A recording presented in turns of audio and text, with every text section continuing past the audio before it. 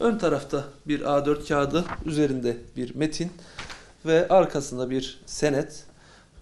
Şu kısmı şuraya yapıştırmak suretiyle aslında önde gö- gö- gördüğünüz bir evrak. İmza attığınız zaman imza arkadaki senede geçiyor. Pencere dolandırıcılığına dikkat. Kargo teslim tutanağı yerine senet imzalattılar, 40 milyon liralık tuzağa düştü.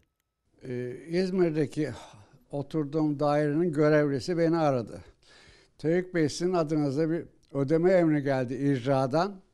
Ben aldım onu sizin adınıza. Gelince vereceğim dedi. Malım mülküm satılacaktı. Bu yaşa kadar edindiğim bütün varlık gidecekti.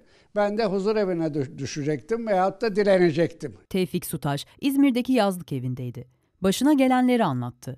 Şimdi bunlar e, bir şekilde benim kargo kare kutu şekli e, usulüyle benim imzamı almışlar.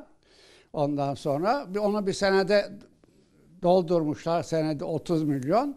Bunu direkt icraya vermişler. Senet ne bir banka görmüş, ne tahsile verilmiş, ne bana haber verilmiş. İcraya vermişler. İcradan doğrudan haciz geldi benim. Şu an durdu Şu an durdu. Ben hemen itiraz edince durdu.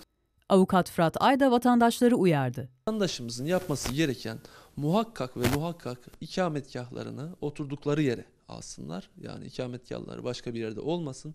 Bir evrağa imza attıkları zaman muhakkak o imzanın o kağıdın arka tarafında başka bir kağıt olup olmadığını elleriyle mümkün olunca kontrol etsinler.